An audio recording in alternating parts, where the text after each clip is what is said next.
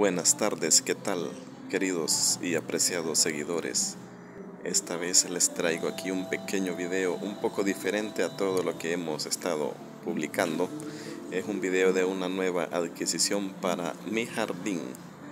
Así que aquí les muestro un cuerno de alce o cuerno de venado, no sé cómo le llaman en sus lugares, en sus países. Aquí como pueden ver está muy hermoso, está muy sano, muy frondoso. Aquí pueden ver.